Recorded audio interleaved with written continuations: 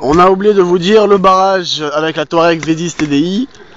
C'est le fils de Monsef Ben Ali. Comment il s'appelle déjà? Sofiane Ben Ali. Et voici, voici sa Touareg, comment elle est devenue.